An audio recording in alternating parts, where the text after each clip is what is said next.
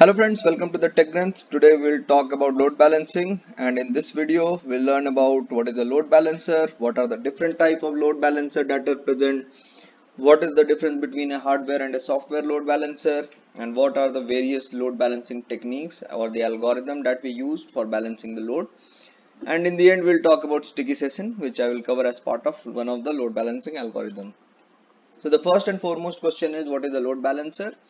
So a load balancer is like a traffic router and uh, what it does is it will distribute all the incoming requests into the multiple server that is running your application on the backend. So you can think of it like a block here and this is the entry point for all the application or all the requests that is coming for your application. Now behind the scene there are multiple server. These are your server which is running your application so the responsibility of load balancer here will be to distribute the load among all these servers. So it will distribute the load to each of these server evenly. So it will be the responsibility of this guy. This guy will be the load balancer to make sure that no, none of these servers are overloaded or none of these server gets the bulk of the request. So it should be able, it should be smart enough to distribute the load so that each of these server can take that load. So it can happen that i have one server which is more powerful than the other server. So this guy should be smart enough to identify that and uh, balance the load or distribute the load accordingly. So this is one of the responsibility of the load balancer and why load balancer is used. Distribution of the request so that uh, it makes sure that none of the servers are loaded. Helps in making sure that the request does not go to a dead server. That is another important thing so in our previous diagram suppose if we had a server this was dead and we had a load balancer here and we have one more server one more server. Suppose this one of the server has gone down. So load balancer should be smart enough to route the request to only these two server and it should not redirect the request to this dead server. So that is one of the responsibility of this load balancer and it also decides which server in the cluster is most suitable for handling any incoming request. And this point become really important when we will talk about sticky sessions.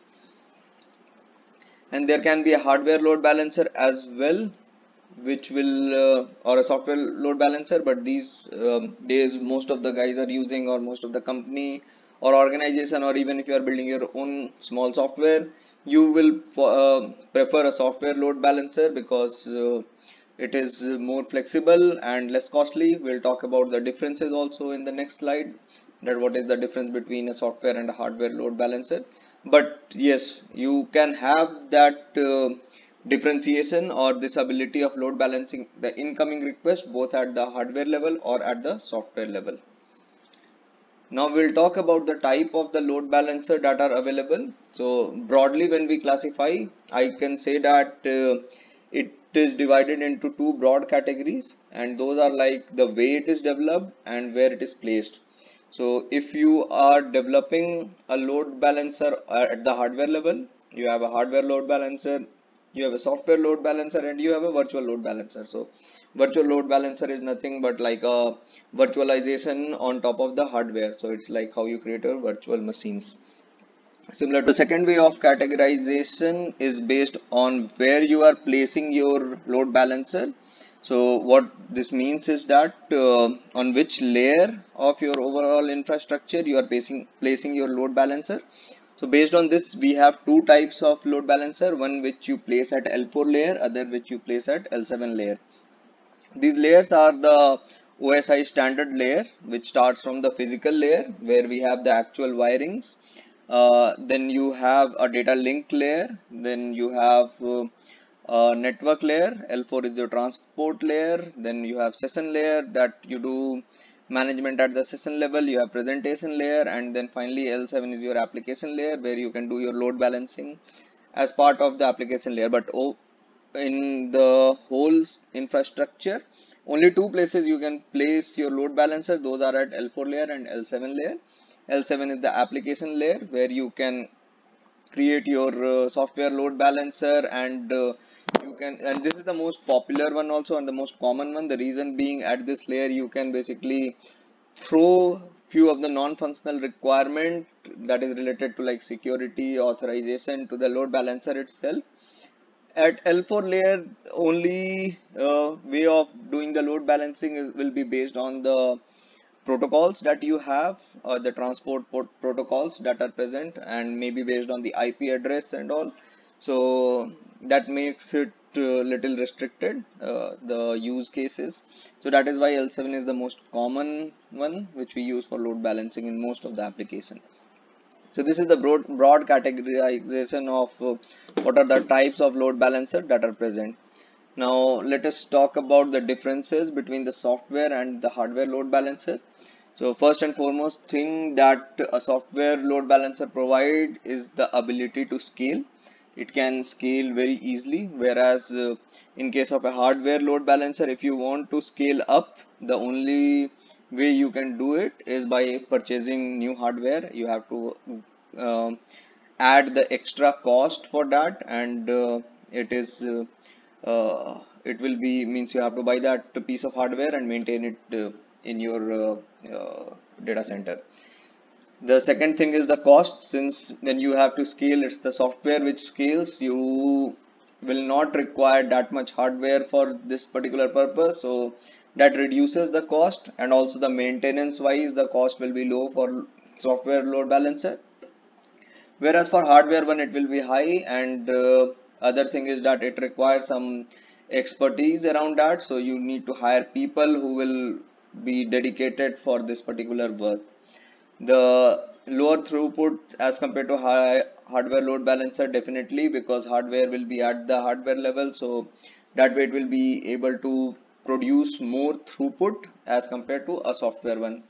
And uh, when you use a software load balancer you need to add an additional layer of security for your authentication and authorization and uh, also at the transport layer you have to add some security because of the thing is uh, because it's at the software level and uh, it is prone to hacking and all.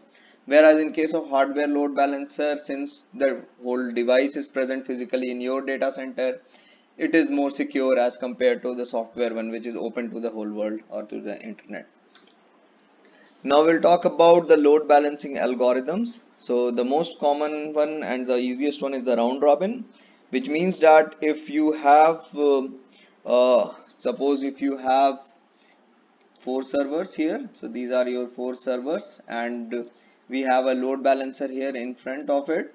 And if a request comes so what this guy will do is it will not apply much brain. It will uh, it will uh, send the request to each of the server in the round robin fashion. What it means is that the first request that it that this load balancer receives it will send it to the first server the second server second request that this guy will receive it will send it to the second server. The third request will go to the third one and the fourth request will go to the fourth server. So this is the round robin one. And after that when the fifth request come it will again go back to the first server. So this is how the round round robin mechanism uh, of load balancing will work now this is the benefit here is that it's very easy to implement. You have to just circle around uh, the number of server that is present with uh, with us and uh, at the end of the server you just circle back to the first server. But the drawback here is that you may have multiple server which will be running at uh, uh, different speed or maybe of different configuration. So it can happen that some of the server are big machines with more CPU more processing capacity as compared to some server which are like old ones and have less serving capacity. So in that particular case what will happen? Similar number of requests will go to both the server which does not seem very fair. So that is why we have the second algorithm which is weighted round robin. Now in case of weighted round robin uh, what we can do is that uh, suppose we have four server here we can assign some weight to each of these server. So what it means is that we'll assign a weight like uh, 10 or 15 for the, this server which means that this guy can take 15 requests at a time. This is a new powerful server so it will take more requests. As compared to that we can assign a lower weight to the old server which is not able to get more requests or more, not able to process more requests so for this one we can assign a load of like one or two and that is how we will assign weight to each of the server that is present in our cluster. And the same thing will be configured on the load balancer side as well which will say that okay this guy has more load uh, taking capacity. So based on the load the probability will be calculated and uh, the request will be routed based on the probability that we calculated based on the weight that was assigned to each of the server so that way this guy will have more probability of getting more number of requests as compared to this guy. So that is how the weighted round robin mechanism works. The next is least connection method. So in this particular scenario what will happen is that load balancer will have a knowledge that how many connection has been made to each of the server that is present here so in this scenario what would have happened is like each of the server would have got initially one one request but these two guys were able to finish complete the request and uh, they are free now. Whereas the request that went to the first two server they are still processing. So the next request that will come it will go to this server because this guy is free now and it has the least number of connection which is present currently now the next request that will come it will see that all these three have one one request with them and this guy is free. So this the new request will go to the fourth server. So that is how the least connection method works which will uh, know the exact number of connection that has been made to each of the server. So it will not think about what is getting processed. It may happen that uh, the drawback here is the biggest drawback here is that it may happen that this guy has just one connection but it is processing a bunch of record or bulk record which is slowing down the system. Whereas these guys may have like two or three connections still they are processing. Uh, the task that is assigned to these servers are like uh, very small tasks so it might get finished fast. So that is one drawback but uh, if those things are uh, okay for you so you can still go with the least connection method the next one is the least response time. So this is based on this algorithm is based on how quickly your server is responding back for each of the requests. So if my this server which is the old one is responding slowly so this will get least number of connection in the overall run duration for which this particular server is running. Or for that matter the the duration for which the whole cluster is running. So whichever server is responding quickly to me I will be assigning more load to that particular server so that the request that is coming gets processed very fast. And if it is like a user facing application so the response time for the user will be very good. So this kind this response time based algorithm will be used when you have an application which is client facing and the processing power of all the machines are like almost similar and uh, not the processing power but the task that is being assigned to all the server are almost of similar size or similar which requires similar capability for processing. So that is where this algorithm will be handy. Now the next one which is again a very common mechanism after round robin is the hashing. This is also called IP hashing so what we do here is that we create a hash table on our side and uh, we hash the IP address. And uh, based on uh, based on the hash that we got as part of uh, the hashing algorithm whatever hashing algorithm that we used. So based on that hash value of the IP a server will be allocated. So if we have like four server here we have one two three and four server here. And we have a hash function which will hash the IP address. So suppose the first IP address was something like 10.1.1.1.1 so if this is one of our IP address so I will put this IP address in my hash table and I will hash this uh, hash this particular IP address using a hash function. So suppose the output of this function was 1 so what I will do is I will assign the request coming from this IP address to this particular server, my first server. If I had some other IP address like 192.1.1.10 or something like that, so I will store this IP address and I will hash this IP address and maybe I will get the value of this hash as 4. So all the requests from this IP address will be routed to the fourth server that is present so this is how the IP hashing or in general hashing works. So you can perform this hashing on your IP address maybe on uh, some other criteria you can choose which seems unique to you. And uh, here one thing you have to keep in mind is that the hashing function whatever you are using is really strong so that your load is distributed across the server. It should not happen that um, the most of the uh, IP address are getting similar or same uh, hash value. That way there will be a hash collision and then one of the server will get loaded. So that has to be kept in mind. The next one is consistent hashing. So I will not go into deep uh, de detail of consistent hashing because I have already explained this as part of my system design video for distributed cache. So you can go back to that particular video and you can check out uh, the how consistent hashing works and the same algorithm can be applied here also for load balancing. I've explained it in detail that uh, how it works. It's basically like a circle around of this hash. So if one of the server goes down, you just route it back to the first server. It works like that. So you can check out that detail in the other video. And finally, we have a session persistence or also called sticky session. So what happens as part of sticky session is if you have a load balancer and uh, again you have bunch of servers behind the load balancer so what load balancer will do is that it will identify the user. So if there is a user u1 if it this guy makes a request to the load balancer for any application so this load balancer will know that this is the user and this guy has already interacted with me and uh, for all the requests that this guy makes this request will be routed to one of the server. So that way load balancer is making sure that whenever request comes from user 1 it will always be routed to server 1 if this is my server 1 if the request comes from user 2 and uh, first time when user 2 accessed the load balancer or the service the request was routed to service 3 suppose so from next time whenever user 2 will make a request it will always go to user uh, it will always go to server 3 the benefit here is that that uh, at the server level there will be local cache and that will have the data related to this user.